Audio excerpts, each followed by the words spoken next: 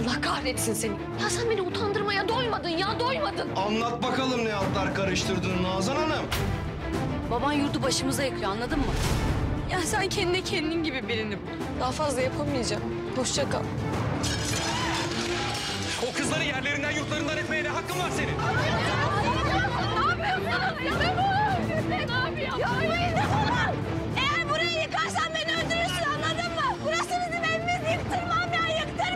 Yıktırma. Son gün! Yıktırmayacağız lan burayı.